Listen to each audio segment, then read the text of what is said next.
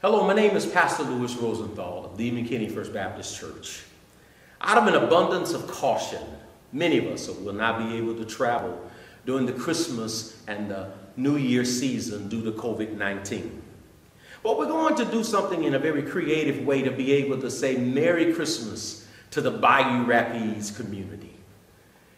If you're watching this video, you will see photos, photos of some of God's choicest servants who were born, raised, and lived in the Bayou Rapids community. I am so well pleased to say that I was raised and I was born and I came from the Bayou Rapids community. I thank God for that privilege.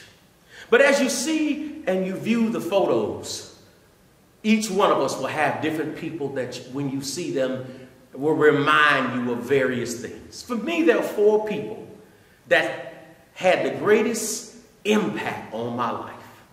First, my mother, Velma Rosenthal. My mother taught me what selfless, unconditional, and sacrificial love is. And then there was Miss Ada Green. Miss Ada Green taught me what prayer is. Miss Ada used to always say pray at 9 o'clock, 12 o'clock, and 3. Really, she was quoting the 55th Psalm, verse 17, but her emphasis was just pray about everything. Pray without ceasing prayer is a significant part of my life. And then former pastor Emil Jones said one of the most profound statements that I still listen to the message from that, that he preached over 30 years ago. And that statement is something I share on a regular basis. He said, forgiveness is a necessary trait that makes human human relationships workable. You know, people fail to get along primarily because they fail to forgive. And then there was Miss Helen Lair, the greatest praise and prayer warrior I've ever known.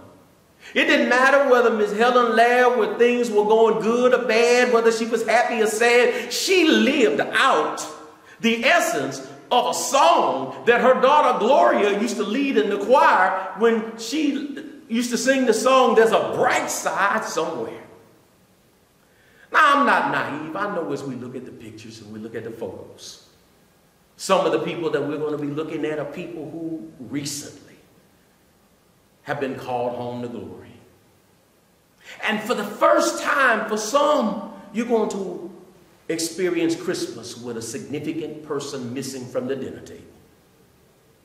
So, our prayer is that we would rem be reminded that God called everyone home when their mission and their purpose was complete. Jeremiah 29 11 affirms that God has a mission and a purpose for our life. So when our mission and purpose is completed, God calls us home. But we miss them. That's what death does. It separates those who are alive from those who have been called on to glory. I have in my hand I have the homegoing program from my mother, Velma Rosenthal, dated Saturday, January the 9th, 1994. 1994. I still read this poem every time I find myself missing significant loved ones. Let me share it with you. It says, Don't grieve for me, for now I'm free following the path God laid for me. I took his hand when I heard him call. I turned my back and I left it all. I could not stay another day to laugh, to love, to work, or play. Tasks left undone must stay that way. I found that peace at the close of day. If my parting has left a void, then fill it with remembered joy.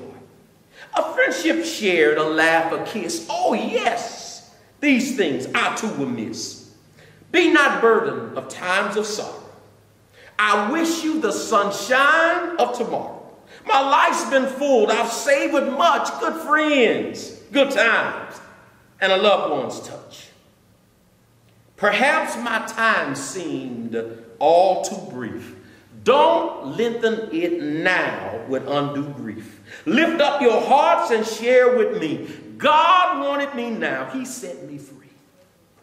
So I say Merry Christmas to Bayou Rapids. I am so privileged to have been raised off the bayou. May God bless and keep you. Amen.